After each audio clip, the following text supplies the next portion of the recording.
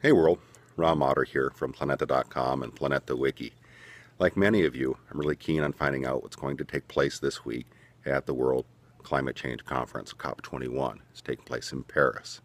And like many of you, I'm not going to be there, so I'm speaking on behalf of remote participants. You know, what can we access? What can we see?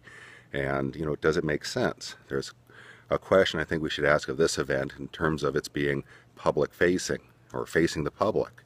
You know, do the words and do the jargon make sense or how do we best make sense out of what's being said and what's being done? So we'll pay attention and we're going to be using that cop21 hashtag and wish you all the best and thanks for helping us out